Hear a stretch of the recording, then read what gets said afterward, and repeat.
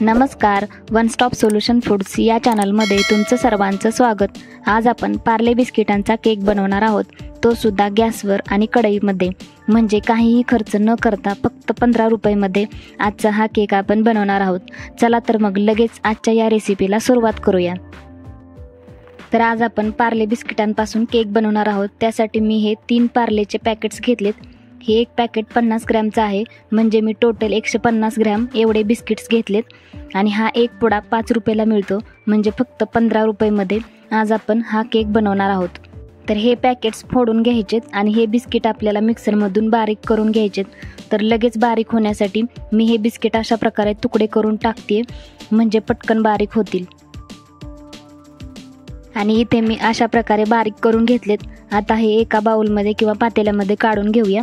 आणि यापासूनच आपल्याला याचं बॅटर बनवून घ्यायचं आहे तर याचं बॅटर बनवण्यासाठी यामध्ये दूध ॲड करायचं आहे तर हळूहळू यामध्ये दूध ओतायचं आहे आणि याचं छान असं बॅटर तयार करून घ्यायचं आहे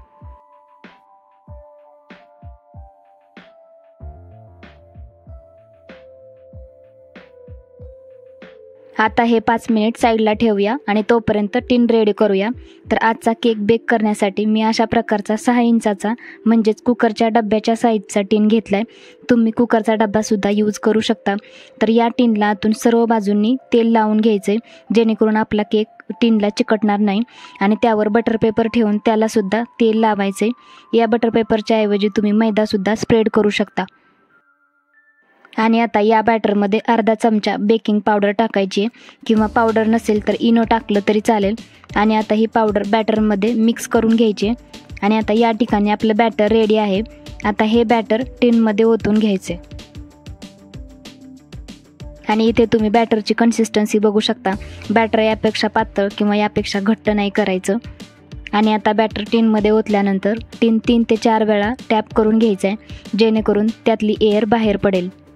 आणि आता डेकोरेशनसाठी मी इथे अशा प्रकारे टुटी फ्रुटी टाकणार आहे. ही ऑप्शनल आहे. याच्याऐवजी तुम्ही काजू बदामसुद्धा डेकोरेशनसाठी यूज करू शकता.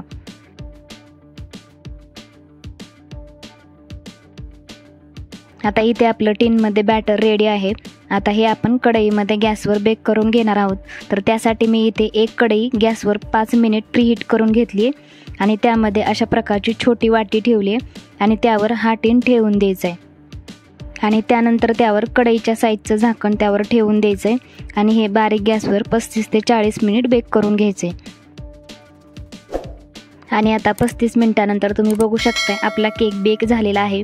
तर हे चेक करण्यासाठी केकच्या मधोमध एक टूथपिक घालून चेक करायचं आहे टूथपिक जर क्लीन आली तर समजायचं आपला केक बेक झालेला आहे. आणि या ठिकाणी तुम्ही बघू शकताय टूथपिक क्लीन आली आहे म्हणजेच आपला केक बेक झालेला आहे. म्हणजेच इथे आपला बिस्किटांचा केक रेडी झालेला आहे. तर आजचा हा पार्ले बिस्किटचा केक तुम्हाला कसा वाटला हे मला कमेंट करून नक्की कळवा. तसेच आजचा व्हिडिओ आवडला असेल तर व्हिडिओला लाईक करा. चॅनलवर नवीन असाल तर चॅनलला सबस्क्राईब करा. त्याचबरोबर बाजूला असलेल्या बेल आयकॉनवर सुद्धा क्लिक करा. म्हणजे अशाच नवनवीन व्हिडिओचं नोटिफिकेशन सर्वात आधी तुम्हाला येईल. चला तर मग परत भेटूया अशाच एका नवीन व्हिडिओमध्ये. तोपर्यंत bye bye. Thanks for watching